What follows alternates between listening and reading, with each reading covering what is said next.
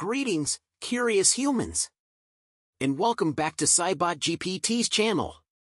Today, we're embarking on a journey through history and science to explore one of the most iconic and powerful creations humanity has ever produced, the awe-inspiring Saturn V rocket.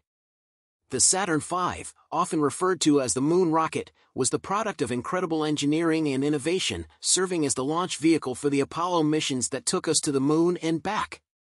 Its towering presence and unparalleled capabilities remain a testament to the boundless potential of human ingenuity and determination. Standing at an astounding height of 363 feet, 111 meters, and boasting a staggering thrust of over 7.5 million pounds, the Saturn V remains the tallest, heaviest, and most powerful rocket ever built. It comprised three main stages, each contributing to the rocket's incredible ability to escape Earth's gravitational pull and propel astronauts towards the stars. But the Saturn V was not just about brute force, it was a sophisticated marvel of engineering. Its meticulous design ensured the safety and survival of the astronauts it carried, from the Earth-shaking liftoff to the delicate maneuvers in the vacuum of space. Join us in this captivating exploration as we delve into the intricacies of the Saturn V, unravel its groundbreaking technology, and relive the moments that defined an era. From the historic Apollo 11 mission that first set foot on the lunar surface to the lesser-known missions that followed, the Saturn V played a pivotal role in shaping our understanding of our place in the cosmos. So, whether you're a space aficionado, a history buff, or simply curious about the feats of human achievement, make sure to subscribe and hit that notification bell. Prepare to be inspired as we uncover the remarkable story behind the Saturn V, a symbol of humanity's unending curiosity and our eternal quest to reach for the stars.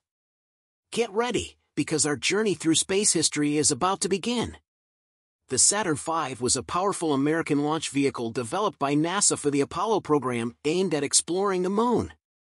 This super heavy lift rocket had three stages and utilized liquid fuel. It saw operational service from 1967 to 1973, completing a total of nine crewed missions to the moon and launching the first American space station, Skylab. A remarkable feat in space exploration, the Saturn V remains unique in its ability to transport humans beyond low Earth orbit.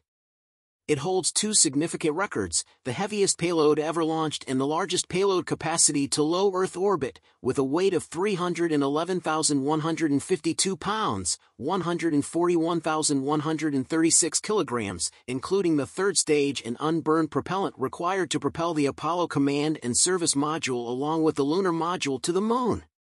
Developed under the guidance of Wernher von Braun at the Marshall Space Flight Center in Huntsville, Alabama, the Saturn V was a collaborative effort involving lead contractors Boeing, North American Aviation, Douglas Aircraft Company, and IBM. A total of 15 flight-ready rockets were manufactured, alongside three for ground testing. Impressively, all 13 launched from Kennedy Space Center completed their missions without any loss of crew or payload the Saturn V played a pivotal role in lunar exploration, ferrying a total of 24 astronauts to the Moon between the Apollo 8 mission in December 1968 and the Apollo 17 mission in December 1972.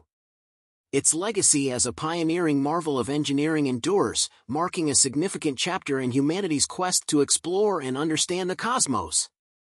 In September 1945, the U.S. government brought Wernher von Braun and a group of German rocket engineers to the United States under Operation Paperclip. Von Braun, known for his work on the V-2 rocket, initially shared ideas from the V-2 with American engineers. This shifted in 1957 after the Soviet launch of Sputnik 1, prompting the U.S. to focus on space exploration. Von Braun's team, responsible for the Jupiter rockets, transitioned to the development of the Saturn rockets. Named after the planet Saturn, the Saturn design originated from the Jupiter series. Between 1960 and 1962, the Marshall Space Flight Center formulated plans for Saturn rockets suitable for various Earth orbit and lunar missions. NASA's original plan included the Saturn C3 for Earth Orbit Rendezvous, EOR, lunar missions, while the MSFC aimed for the larger C4, utilizing four F1 engines in the first stage, a C3 second stage, and a single J2 engine-powered S4B third stage. The decision was made to construct the C-5, a three-stage rocket with the SIC first stage housing five F-1 engines, the S-2 second stage featuring five J-2 engines, and the S-4B third stage incorporating a single J-2 engine. This new design, later named the Saturn V, was chosen for the Apollo program in 1962. Testing was streamlined, employing an all-up approach where all components were tested together, minimizing the need for multiple test flights before crewed missions. Key elements of the Saturn V's final design included F-1 engines for the first stage and a new liquid hydrogen propulsion system named J-2 for the second and third stages. This configuration gained momentum as NASA turned to mission profiles. Controversy arose between Lunar Orbit Rendezvous and Earth Orbit Rendezvous for the lunar module, with LOR ultimately chosen.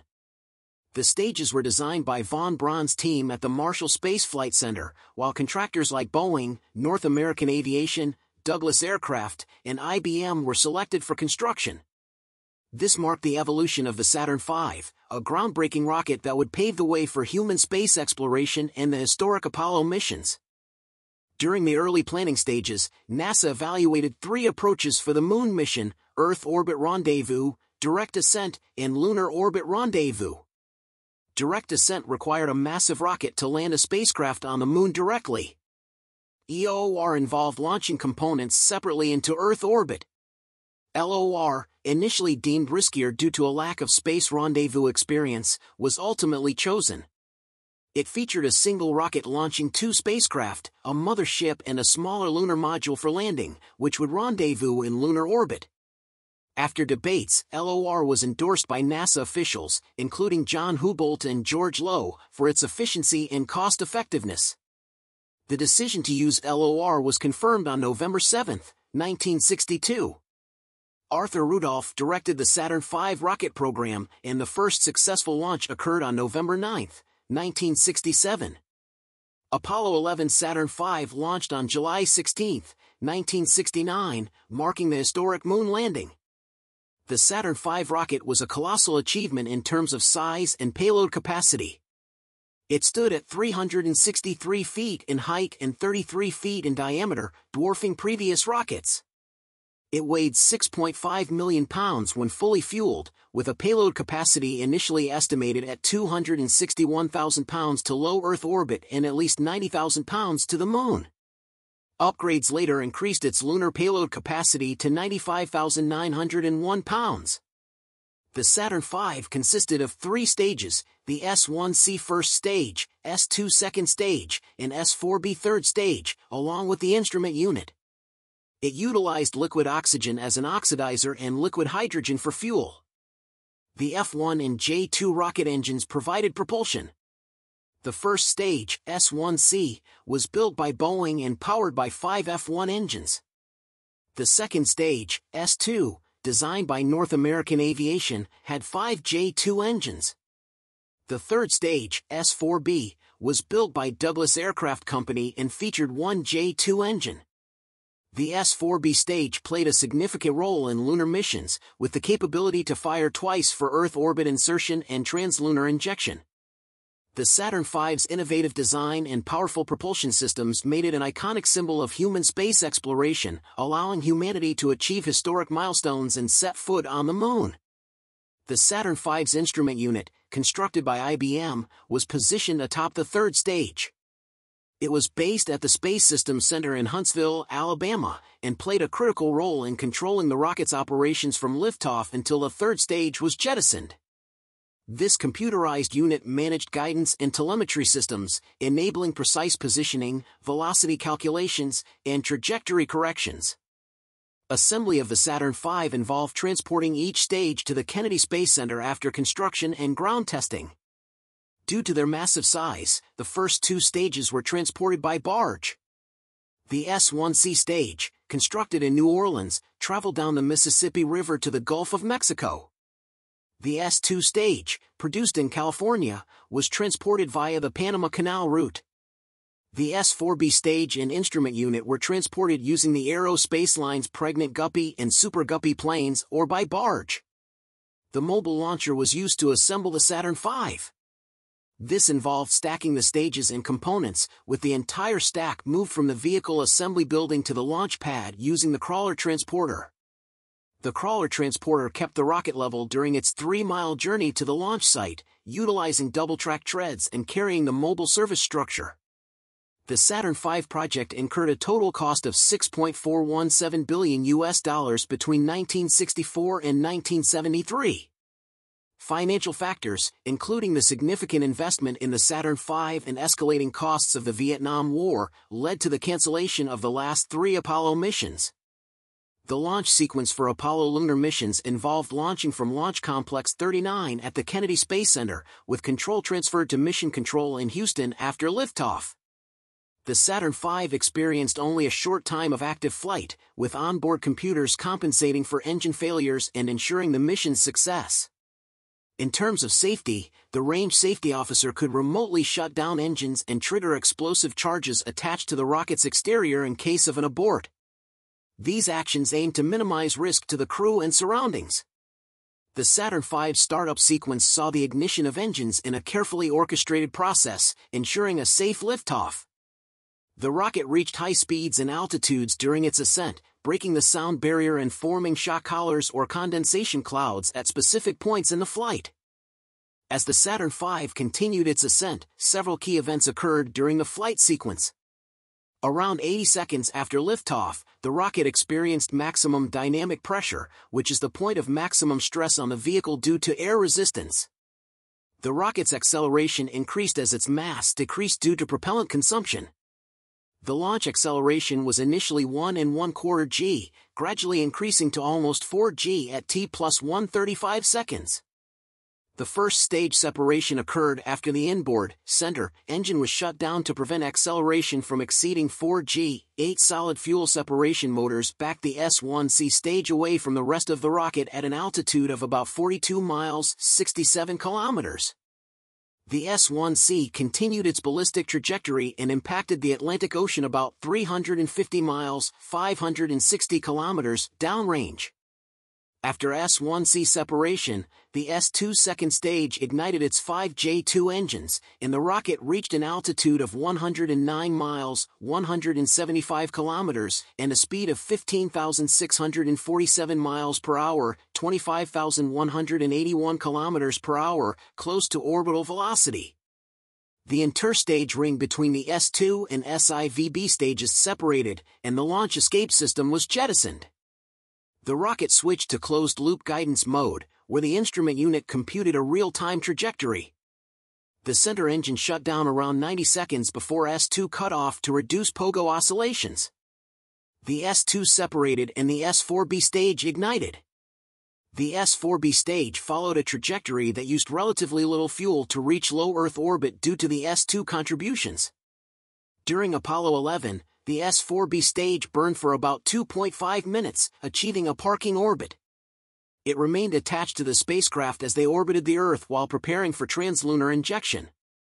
Translunar injection occurred approximately 2 hours and 44 minutes after launch for Apollo 11. The S-4B burned for nearly 6 minutes, propelling the spacecraft to a velocity close to Earth's escape velocity.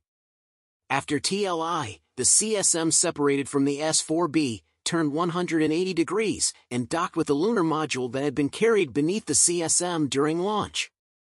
The combined spacecraft then separated from the S-4B in a maneuver known as transposition, docking, and extraction. The S-4B's remaining propellants were vented, and the auxiliary propulsion system was used to move it away from the trajectory. The S-4B was directed either towards a solar orbit or the moon's surface, depending on the mission the Saturn V was repurposed for the Skylab program, which involved launching a space station into orbit using surplus Saturn 1B second stages. The S2 stage acted as the terminal stage for inserting Skylab into Earth orbit. Skylab was inhabited by three crews from May 25, 1973, to February 8, 1974. The S2 stage remained in orbit for almost two years before an uncontrolled re-entry. After the Apollo program, the Saturn V had several proposed successors and variations, some of which were considered but ultimately cancelled due to cost or changing priorities. The Saturn V was planned to be the launch vehicle for the robotic rover Prospector, intended for the moon. It was similar to the Soviet Lunokhod rovers and the Voyager Mars probes. However, this plan was cancelled, along with other proposed uses of the Saturn V, due to cost considerations.